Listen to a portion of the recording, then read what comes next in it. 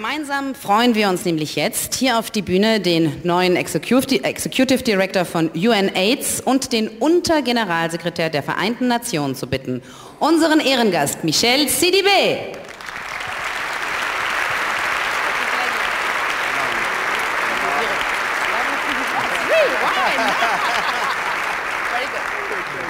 Guys, I let you talk and see you later.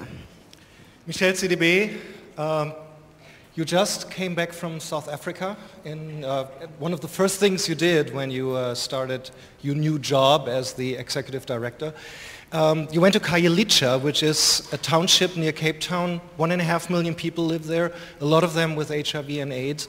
You met a boy named, now I forgot the name, Tob- Tobisha? Tobino. Tobino.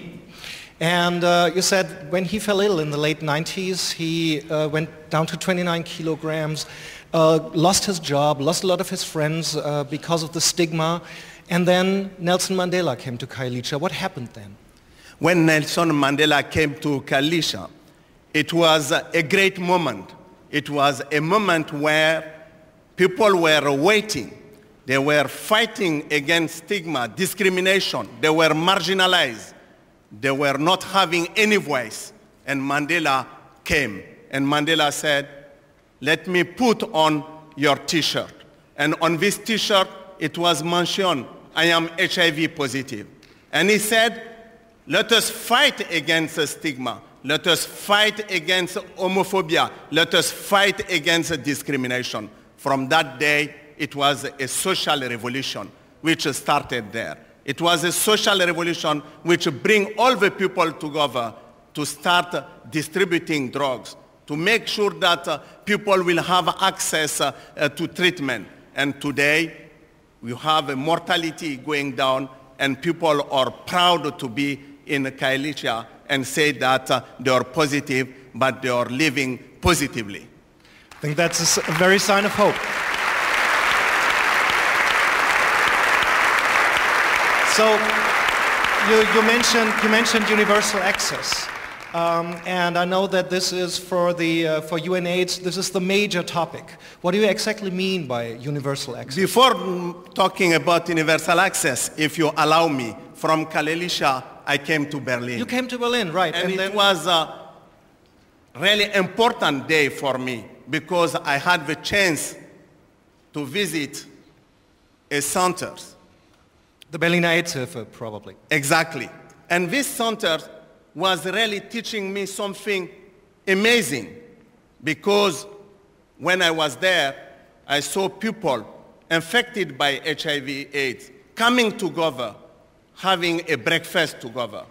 And that was for me a moment where I realized that people with solidarity was able to restore the dignity and that program was restoring the dignity. I met a young woman, and she was coming from uh, Nigeria. She told me, I am at, today I can talk to you because I was in Berlin. Because when I arrived, I was almost dying.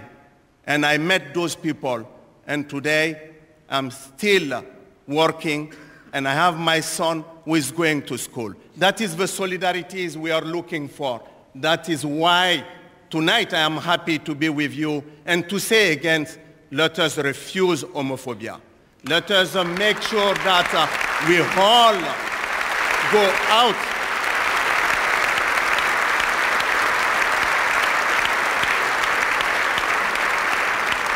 I can just tell you that I will speak with unflagging candors and I will fight. I will go out with all my energy to make sure that you will have a voice. As So when you say, uh, when, when you say universal access, I want to come to this universal access. universal access What is does it mean? universal access is uh, just a movement, is a social movement to fight for the right of the people, to make sure that we can reach the unreachable. And it is not just a word.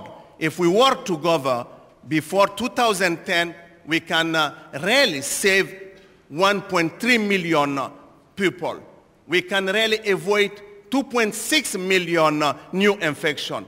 That is universal access, but more than that one, universal access is equity, is solidarity, is a fighting to make sure that people will have voice. What can an organization like UNAIDS actually do to fight homophobia? What are, what are the means that you use to, to do this?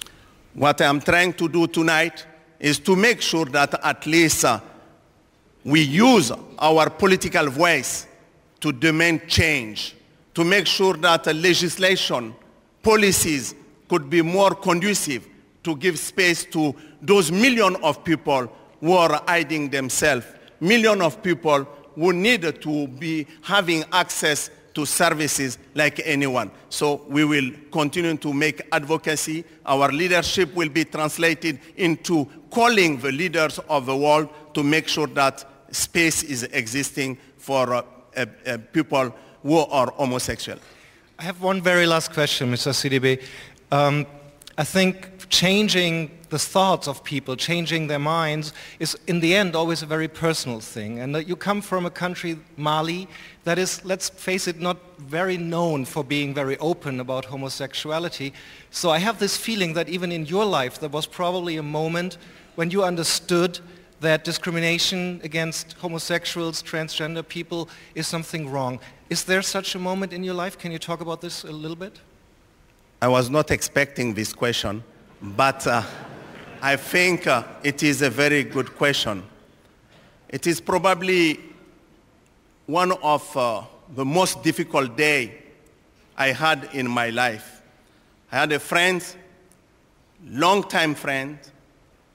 He was married, having kids.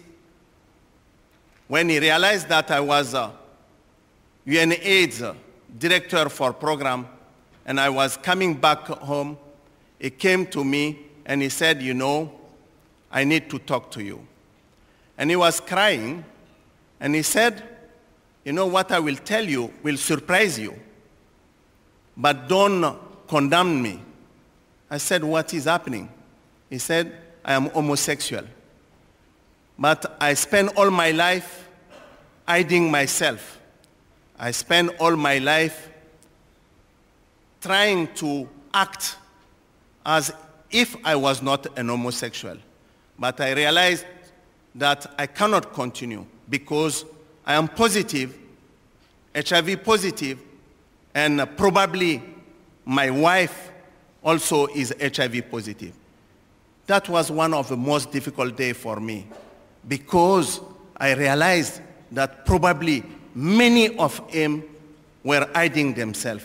Many of them were not able to cope with uh, a social pressure. And that's what we need to break. We need to break this conspiracy of silence. We need to make sure that people will have uh, restore their dignity and they will be capable to continue to live with uh, their own choice we should not condemn people or exclude them because of their uh, sexual orientation. And I will do all I can. And I want to ask you to stand up, to stand up. Please uh, stand up. Please, all of you, stand up, stand up. Let us say no to, No to silence. No to silence. no to homophobia, so no to exclusion, no to discrimination, and no to stigma. And thank you for this uh, wonderful night. Thanks. Thanks. Thank you, Mr. Sidibe. Thank you. Thank you very much. Thank you very much, sir.